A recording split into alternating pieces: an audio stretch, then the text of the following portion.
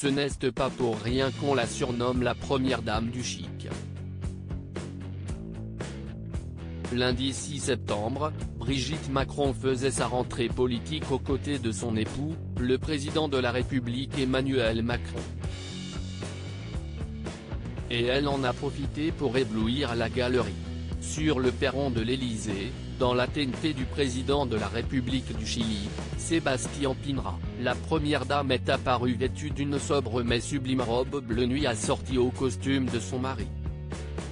Une fois n'est pas coutume, l'ancienne enseignante a mis son sac à main à bandoulière Louis Vuitton de côté pour y préférer une pochette matelassée.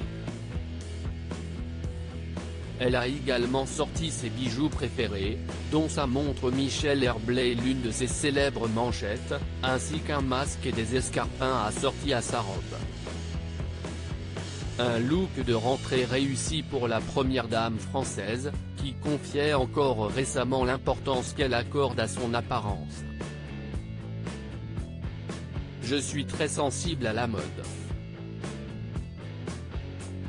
Il existe une certaine idée de la femme française dans le monde. J'ai toujours fait attention à ma manière de m'habiller, demander à mes filles ou à mes élèves, avait-elle confié.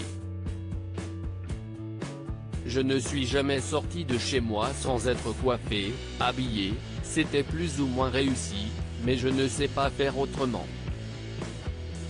Une rentrée sur les chapeaux de roue pour le couple présidentiel si la première fois qu'Emmanuel et Brigitte Macron apparaissent sur le perron de l'Elysée depuis leur retour de Brégançon, où ils ont passé une bonne partie de leur pause estivale?